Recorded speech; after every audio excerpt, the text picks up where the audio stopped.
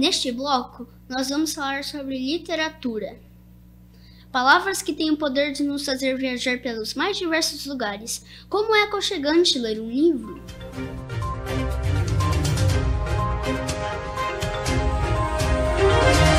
Clarice Lispector escreveu muitas histórias para adultos e crianças. Quando era criança, não tinha muitos livros, mas quando leu assim na de narizinho, tinha certeza de que seria escritora. Nascida no leste europeu 10 de dezembro de 1920, durante que viagens que seus pais faziam para fugir de guerras contra a perseguição contra judeus, da violência e da miséria. Em Hamburgo, na Alemanha, embarcaram no navio Cuiabá, que os trouxe para o Brasil. Em 1922, desembarcaram em Maceió. Tornou-se jornalista. Sua paixão por escrever fez um poeta dizer: Clarice, seus olhos parecem ter peixinhos. Ela também era apaixonada por bichos e por isso escreveu O Mistério do Coelho Pensante, que um dos seus filhos pediu a ela em determinada ocasião. Importante escritora da literatura brasileira, Clarice definiu assim sua vida. A vida é um pouco pitomba, azeda e doce ao mesmo tempo. Livros são companhias que abrem nossos olhos e estimulam nosso pensar, nos abraçam entre suas linhas.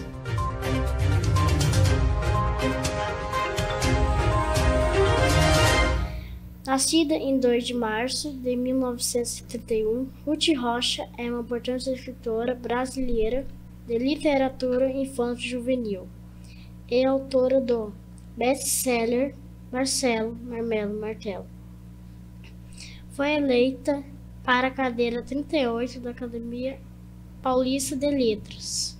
Formada em Ciências Políticas e Sociais pela Escola de Sociologia de São Paulo, começou a trabalhar em 1957 na biblioteca do Colégio Rio Branco. Foi orientadora do, do mesmo colégio onde permaneceu até 1972. Sua carreira literária teve início em 1967, quando começou a escrever sobre educação para a revista Cláudia, que, que era voltada ao público feminino. Em 1973, passou a coordenar o departamento de publicações infanto-juvenil da editora Abril. Em 1976, escreveu seu segundo livro, Marcelo Marmelo Martelo que fez grande sucesso e foi traduzido para vários idiomas e se tornou um best-seller. Posteriormente, o livro ganhou uma série de, dedicada só para ele. Ruth Rocha tem mais de 200 títulos publicados e sua obra já foi traduzida para 25 idiomas. De uma linguagem impecável, nosso principal representante do realismo brasileiro escreveu romance icônico.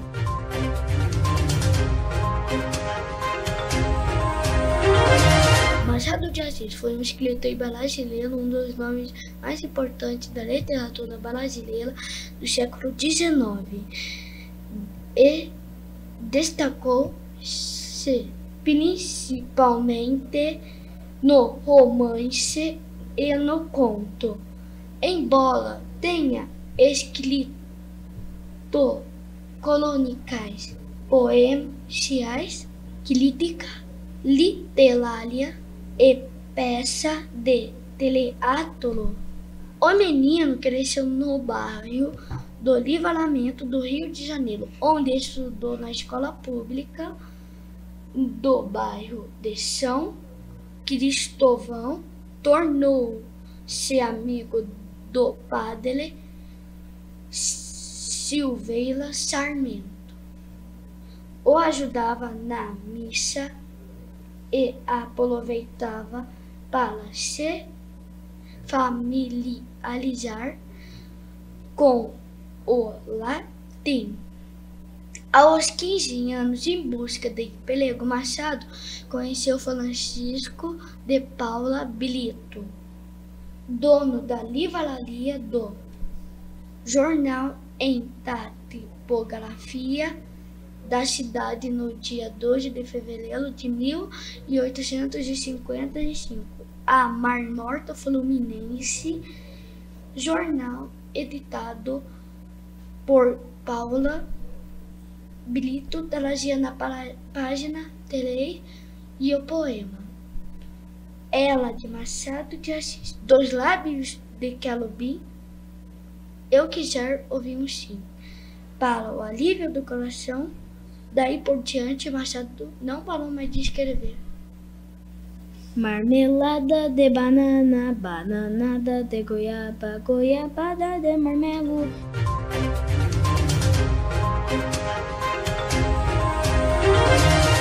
Não conhece? Monteiro Lobato foi um escritor e editor brasileiro, criou a editora Monteiro Lobato. Mais tarde, a Companhia Editora Nacional foi um dos primeiros autores de literatura infantil de nosso país e de toda a América Latina.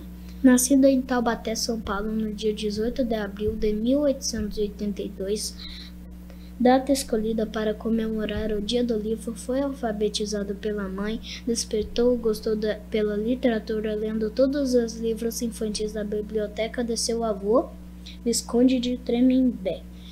Monteiro Lobato fez seus primeiros estudos em sua cidade natal com 14 anos, foi estudar em São Paulo no Instituto de Ciências e Letras em 1891. Ficou órfão, perdendo o pai e a mãe, logo em seguida ficando aos cuidados do avô. Sob a imposição do avô, em 1900, Lobato ingressou na Faculdade de Direito de São Paulo.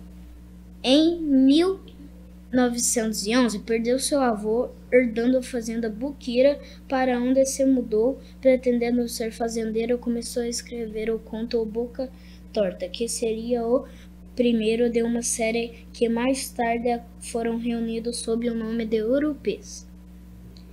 Em 1921, publicou Narizinho Arrebitado, que depois passaria a se chamar-se Reinações de Narizinho. Em seguida, publicou Saci e o Marquês de Rabicó. As obras infantis fizeram um grande sucesso, o que levou o autor a prolongar as aventuras de seus personagens em outros livros, girando todos ao redor do sítio do Pica-Pau Amarelo, sua obra de maior sucesso. Das histórias infantis, dos romances, dos muitos e muitos contos aos palcos dos teatros.